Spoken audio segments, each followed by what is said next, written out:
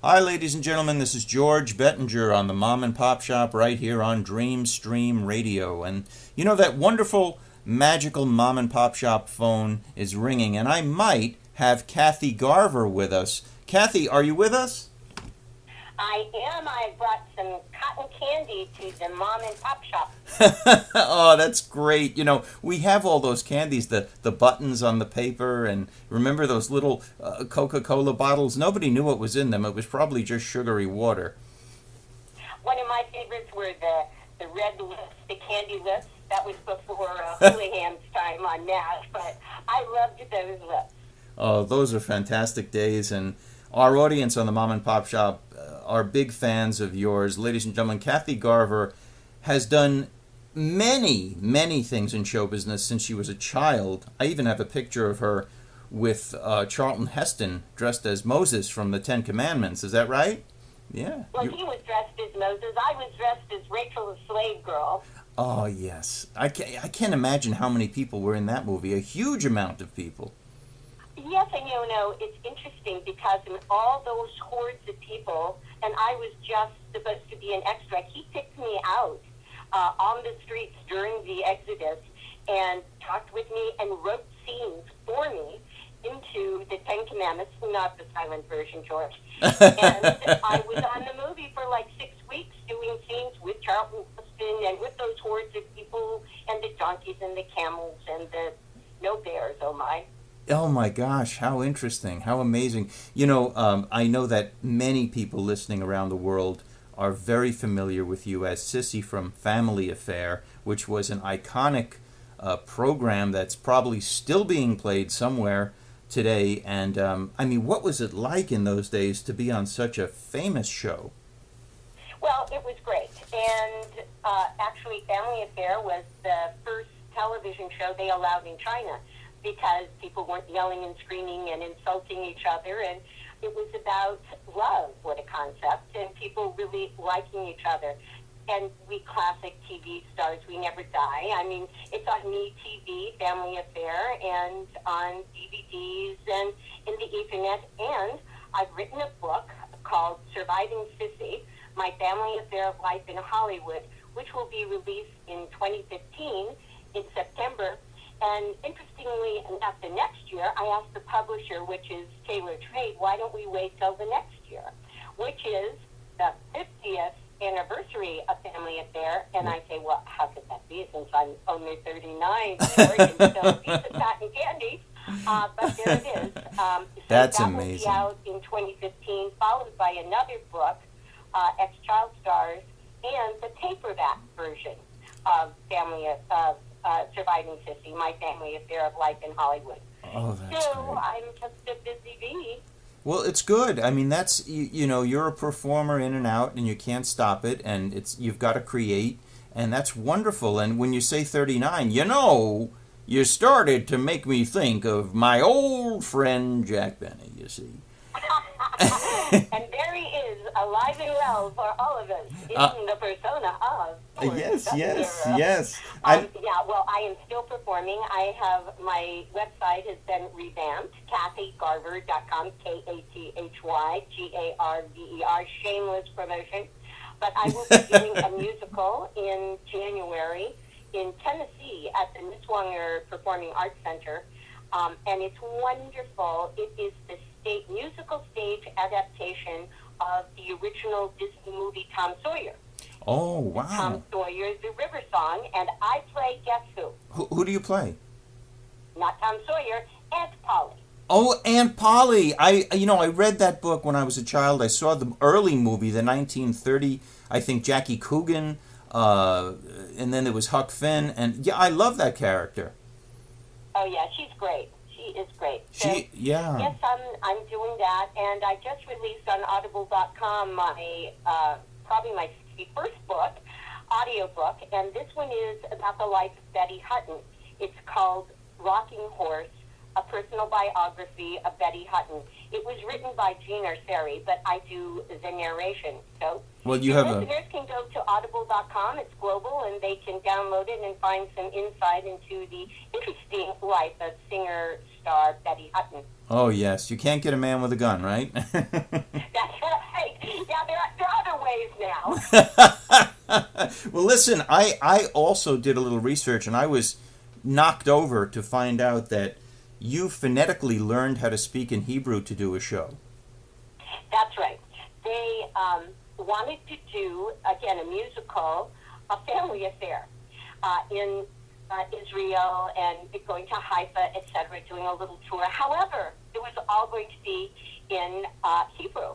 Now, I'm a nice Catholic girl. I do have little remnants of uh, my Latin, so I learned phonetically.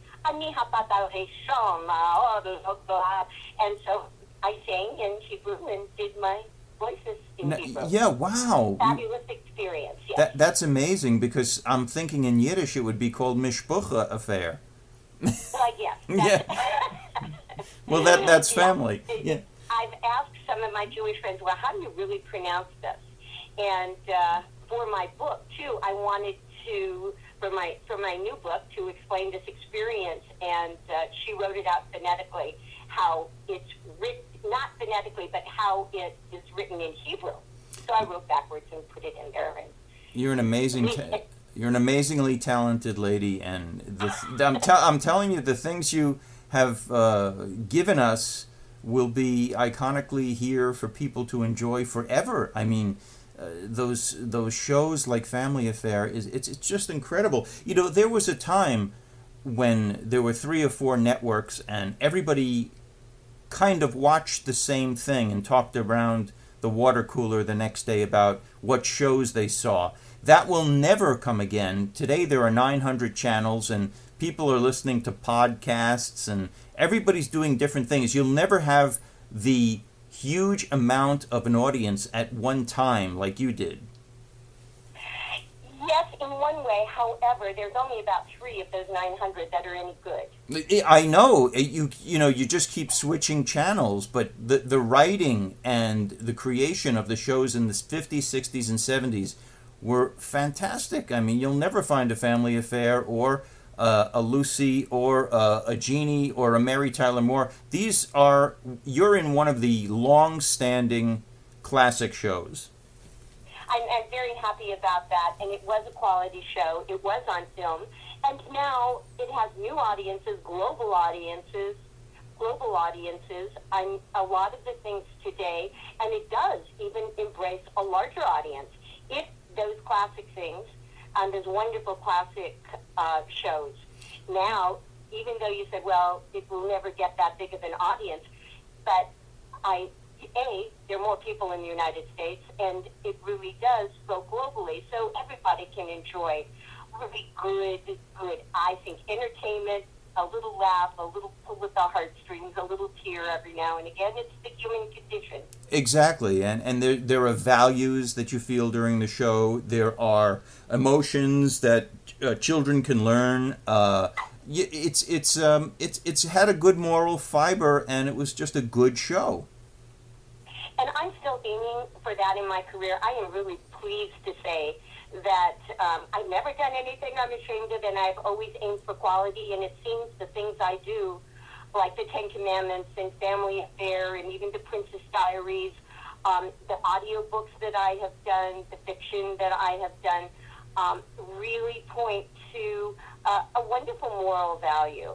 And with all, everything going on in the world today, and I was listening to something, and they said that other cultures may not have the same moral values that we do. That's right. You have to look out for that. And there really is evil in the world, and we like to think that everyone is lovely and, and as we are, but some people just are not, and we just have to under. I think we have to understand that. That's right. Be aware of it. Absolutely, absolutely. You can't you can't actually comprehend what's going on unless you put your mind in the position of how others are thinking and say, "Oh, that's what they're trying to get at." But it's convoluted, and it, you know it could be very messed up. So it's it's hard to fathom. And I think we should continue to try to educate with uh, entertainment and good shows and quality programming and yeah, you got to get the the positive, good messages still out there. That's right. And so the, the projects that I have on the burner, as well as Tom Sawyer, my, my musical, um, is a movie called Sold about real estate and and funny, and I have other projects that are TV series about uh, ex child stars. And so I totally agree with you because what people see, you know, can become their role models and, and uh, helpful to them in the way that they live their life. So as Absolutely. long as we strive for, for good family entertainment, I think we're really on the right track. Absolutely. Ladies and gentlemen, we're chatting with Kathy Garver a legend in show business and television, a lady whose voice is being heard on many, many different things. Could you give the audience um, a way that they could find the um, the audio uh, work? Yes, they can go to audible.com. That's A-U-D-I-B-L-E.com. That's where my audiobooks are, and my newest one is there. Just put in Rocking Horse uh, Personal Biography or Kathy Garver, K-A-T-H-Y, G-A-R-V-E-R. I did learn to spell. and uh, you will find all the books I have done. My website, kathygarver.com. My Facebook presently is full of, of the 5,000. So my new one is Kathy Garver 1. Okay, yes, I'm gonna I'm gonna check that out because a lot of the listeners go to the mom and pop shop uh, page and they chat with each other while uh, the interviews are on. So we'll definitely cover that.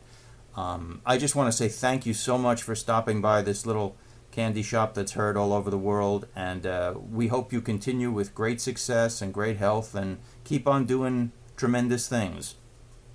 Thank you so much, George. This has been a delight, and uh, next time I'll bring you some more cotton candy. Okay, I would love that. We'll be right back with more fun right after this.